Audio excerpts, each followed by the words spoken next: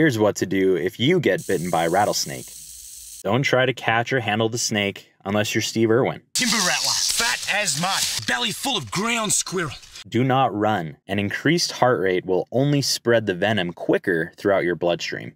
Try to remember what the snake looked like. This can help doctors identify the species. Call 911 immediately.